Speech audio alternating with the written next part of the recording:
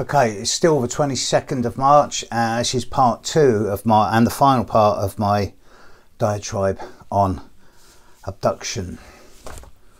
Just to show you what I'm quoting from. This is a paper I wrote for the MA in Cultural Astronomy and Astrology um, in December 2003. It was my first paper, so my first ever academic paper, so it's a bit loose. So I've talked about in section one, I talked about uh, abduction from the dawn of history according to Hebraic Judaic tradition. Section two, I looked about abduction from the dawn of history according to Greek myth. And section three, I looked at abduction in Northern European folklore. So I want to summarise this now before I draw conclusions. The three examples of abduction already given relate to three different time periods from three different cultures with three seemingly different points of origin, yet all have many similarities. The heavenly host that forcibly abducted the daughters of men against their will and impregnating them, with the resultant children being different, i.e., giants or men of renown. The heavenly host took their prisoners elsewhere to a place outside of the scribe's knowledge, presumably back to heaven. The heavenly host is represented as a superior in force, technology, and planning with greater knowledge and power. They could be seen as representatives of a higher power, almost divine. The Greek gods forcibly abducted the sons and daughters of men against their will and raped them, with the resultant children either being demi mortals, i.e., Theseus, or mutations, i.e., Chiron. They took their prisoners elsewhere, to deserted beaches, to Mount Olympus, to remote islands, or even underground. The Greek gods are immortal, the epitome of power and divinity. They would have been seen by the scribes of the time as all powerful. The stories of the abduction of babies and children by the inhabitants of the other world go back many centuries, if not millennia, and are endemic worldwide. In general, the fair folk do not abduct adults, but instead offer them the choice of passage, with men being sought for parenting purposes and women for their nursing and midwifery skills. The fair folk seem to us to be immortal, with lifespans nearly 400 times our own. From a cosmological perspective, it can be seen that all of the above examples have a link with the sky and the stars above. In the case of a heavenly host, whilst the ancient scriptures do not specifically refer to the sons of God or the children of heaven as having a celestial point of origin, it may be deduced from the overall context of the scriptures that this was so, at least in the eyes of the observers. No one knows precisely when the events described in the books of Enoch or Genesis actually took place, but this seems to have been before the time of the developing city cultures of Ur, Chaldea, Babylon, or even Sumeria from whence came the first written records of man's observation of the heavens in ways that incorporated both astronomy and astrology, which are seen by some as being systems linking heaven and earth. This time is generally accepted as being of anywhere from 2 to 4500 BC, with the first tablets pertaining to the study of the heavens in literature being dated at 2200 BC, although the Sumerians were drawing uh, reference to the priests using the constellations of the stars around 4600 BC. The Greek deities were seen by the inhabitants of the eastern Mediterranean as having a point of celestial origin, even though there is no evidence of an indigenous tradition of stellar observation. The pantheon, headed by the sky god Zeus, were descended from the union of Kronos, Saturn, and his sister Rhea, who were in turn descended from Uranus, the sky god, and Gaia, the earth goddess.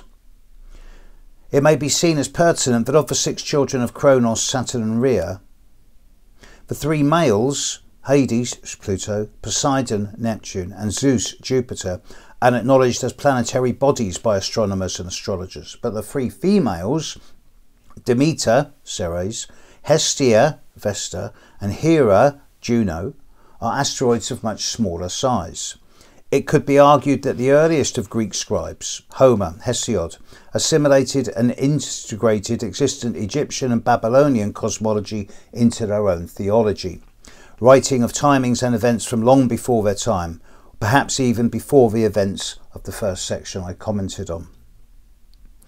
Whilst the inhabitants of the other world have no specific cosmological models as we understand them, there is a strong tradition of working with the seasons, as indicated by the astronomical eightfold path.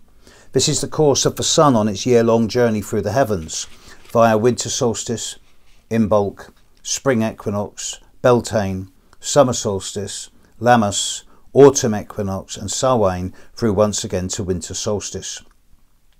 The Neolithic origins of the otherworld stories show a greater resonance with moon culture as opposed to the sun culture of later millennia. It may be that the pre Celtic inhabitants of northwest Europe were attempting to bring heaven down to earth when they erected the massive earthworks, cairns, and stone circles that stand to this day. Alexander Thom, in his 1967 book, The Stone Circles of Britain, claims that there exists incontrovertible proof of exact astronomical alignments pertaining to stone circles and standing stones, suggesting the probability that the ancient lunar dominated peoples of northwest Europe lived more symbiotically with the earth and its place in the heavens, and that they responded and reacted more empathically to nature in all of its forms and this resulted in their establishing a strong link with the other world. All three of the above mentioned examples have a strong link with landscape architecture of the times. The legends of the heavenly host first came from a time when the notion of agriculture and settled community was only beginning to take root in human society, around 6 to 7000 BCE. From these days, we have the tales of the first communities in Mesopotamia and the first stellar observations and aligned temples in early uh, Middle Eastern culture. By the time of the Greek gods, humanity had formed cities and nation states. The pyramids had been built directly aligning to the four cardinal points, and civilization had spread through the eastern Mediterranean. Mediterranean. In northwest Europe, the last ice age started retreating about 7,000 years BCE, leading to the land bridge linking Britain to mainland Europe to disappear. As the ice retreated, the indigenous Neolithic hunter gatherer tribes people took the opportunity to become farmers and form stable communities. And from these days, there still exist Neolithic mounds, tumuli, henges, barrows, and astronomically aligned stone circles. There is also the question of the benefits that have arisen from these encounters with the abductors. The heavenly host taught the sons and daughters of men the arts of astrology, charms, enchantments, herbalism, and healing. Prometheus stole the fire of the gods and gave it to humanity. What was the fire of the gods? Was it knowledge of astrology or was it knowledge in general? Was it self reflective consciousness, the ability to think and be detached from emotional content? Was it fire itself? The link between Prometheus and Pandora suggests that although the gift of fire led to technological advancement for humanity, it also led to vice, immorality, and all the other afflictions from Pandora's box. In the tales of the fair folk, those who are abducted and serve willingly, what midwives, minstrels, etc., these are often returned with a gift of second sight, or healing, or song. It could be seen as if the abductors have a sense of guilt for their actions and seek to atone by passing on knowledge, skills, or information. Where do the original myths and legends emanate from? Is it feasible that there exists a dimension parallel to ours that has different time and space and different logic? Alkis Kontos suggests that the world enchanted was a place of mystery and wonderment, in which nature, spiritually imbued, was the spiritual dimension of the world, its enchanted magical quality that rendered it infinite, not amenable to calculability, spirit could not be quantified, it permitted and invited mythologicalization.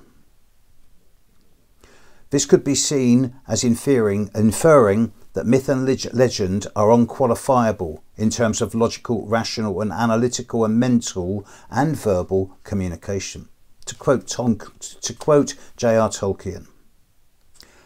Muller's view of mythology as being a disease of language can be abandoned without regret. Mythology is not a disease at all, although, like all human things, it may become diseased. It would be more near the truth to say that languages, especially modern European languages, are actually a disease of mythology. To conclude, throughout recorded history, abduction exists as a recorded phenomenon that is noted but not commented on. It may be that the three case studies mentioned above are representative of their times, as much as the abduction cases involving the bogus social workers and the UFOs are representative of today's times, in that there always seems to be some indiscernible and terrifying threat that might one day snatch individuals or their loved ones away at a moment's notice. The heavenly host, the Greek pantheon, and the inhabitants of the other world all have had a strong working relationship with the cosmos, whether the cosmos in question was heavenly and stellar or planetary and lunar. This could be seen as implying that from the start of recorded history, humanity has related to the heavens with an element of awe and trepidation, based at least partly um, around a fear that the gods would come and abduct one or one's relations into thin air, rarely, if ever, to return. And yet, the possible rewards of these interactions with the gods have always tempted us. Whether it be the lessons of a heavenly host, the fire of the Greek gods, or the gift of song from the fair folk. It seems that there is an element of atonement and compensation for those abductees that either go willingly or fulfill what is required of them, and that this reward sets oneself apart from the rest of one's peers. As far as known, humanity in northwest Europe stabilised into farmer settler modes as opposed to hunter gatherer modes at the end of the last ice age, approximately 10,000 years, uh, 10,000 BC. From this time until the end of the Neolithic era, around 3000 BC, influences pertaining to heavens were seen as primarily omnipotent. From 2500 BC onwards, as, human- as humanity formed into more communities, more earthly based influences began to dominate as people began to acquire material values and possessions. It could be argued that within the last 200 years, the Western world has become so orientated towards materialism and opulence that it has lost touch with its gods, replacing them with televisions, cars, and money. It also seems that since the advent of recorded history, there has been a relationship with structure at the geophysical level that defies rational understanding. The pyramids of Giza and Stonehenge are just a few examples of stellar geometry with a purpose of defining the position of the Earth in relation to the cosmos. This relates that the origina- originators of these structures knew more about geometry, astronomy, and mathematics than we ever thought possible. This adds weight to the theories concerning the existence of intelligent civilizations on this planet in the distant past, and in many ways is reminiscent of original myth. Witness, for example, the case of the USA. As demonstrated above in the case of Rip Van Winkle, immigrants tried to eradicate indigenous belief systems and superimpose their own upon the land they had relocated to. Through not connecting with the local indigenous land energies, the immigrants lost their sense of connection with the Earth. The majority of UFO sightings and abductions by UFO take place in the US of A. Some people have concluded that instead of seeing the indigenous land based energies, the abductees are experiencing the realm of the airy fairy, the air elementals or spirits of the other world, other world, as the pixie or elf represents the earth elementals or spirits of the other world. One such explanation of this phenomenon within the New Age stroke holistic spectrum is that humanity inhabits a dimension of existence parallel to and occasionally interactive with other dimensions in many ways similar to our own, but with specific differences, notably time flow. This theory could allow for separate or other worlds connected in the same space but resonating at a different vibration, possibly being home to what we understand as the fair folk, or UFO beings, or even gods, or dare I say it, crop circle maker. It may be that our view of human abduction over the years has been to look out far away into the heavens for those who have gone, and for answers as to the nature of the phenomenon of abduction.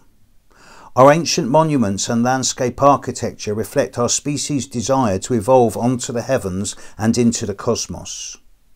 It may be that as a race, We are re-evaluating our position between heaven and earth as a result of recent advances in areas such as space travel, computers, quantum physics, and especially the acceptance of a holistic paradigm. Perhaps we should be looking parallel to and next door to where we really are for an understanding to the abduction phenomenon and reassessing humanity's relationship with the planet we live on, the inhabitants of that planet, and the heavens above. There you go, folks. I hope you enjoyed that. I'm quite happy to send the bibliography and copies of this to anyone who asks. I'll probably ask for a minor contribution, but anyway, hope you enjoyed that. Take care. Bye.